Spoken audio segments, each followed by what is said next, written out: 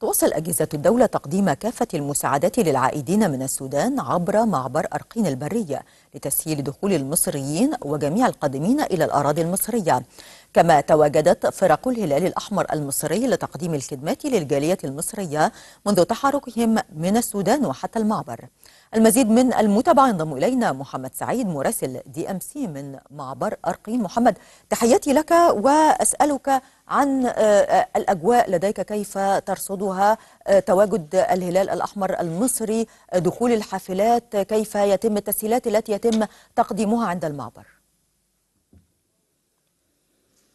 أهلا بك إيمان برحب بيكي وبرحب بكل مشاهدي دي ام سي في كل مكان من داخل معبر أرقين البري على الحدود المصرية السودانية. الحقيقة ما زالت عملية هدوء كبيرة الحقيقة بتسود المعبر نظرا لسهولة الإجراءات أيضا والجهود الكبيرة التي تبذلها السلطات المصرية هنا داخل المعبر لتسهيل دخول كافة الوافدين سواء من المصريين أو من الأجانب أو أيضا من الأشقاء السودانيين في الجانب السوداني. الحقيقة الإجراءات تسير داخل المعبر بشكل كبير جدا وميسر وهناك أيضا استعدادات كبيرة لاستقبال أي أعداد تأتي إلى جمهورية مصر العربية. وبالتالي المعبر الحقيقي بيشهد عدد كبير جدا من الأقسام وتنظيم كبير جدا من العاملين. اطقم العمل الحقيقة تعمل على مدار 24 ساعة داخل المعبر. في هذه اللحظات الحقيقة ربما بعض الحافلات التي دخلت الآن يعني أنهت كافة الإجراءات القانونية لدخولها إلى الأراضي المصرية. ومن ثم تنقل داخل حافلات تابعة لوزارة النقل المصرية بالمجان إلى داخل داخل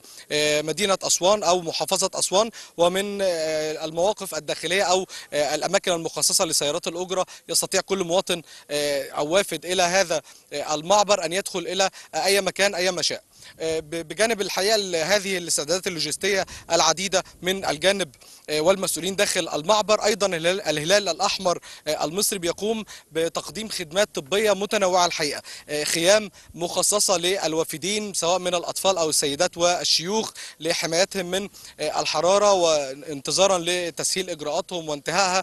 أيضا كمان الخدمات الطبية من عيادات متنقلة وعربات الإسعاف الجاهزة لنقل أي حالات حرجة أو أي حالات مرضية من خلال الوافدين. يعني منذ قليل انتهت زيارة كانت الحقيقة لوفد من عدة منظمات تابعة للأمم المتحدة منها منظمة الغذاء ومنظمة الصحة العالمية وأيضا منظمة اللاجئين الحقيقة الذين زاروا المعبر اليوم. وأشادوا الحقيقة بالتسهيلات وأشادوا بما وجدوه هنا من خدمات مقدمة لكل الوافدين القادمين إلى مصر من الجانب السوداني.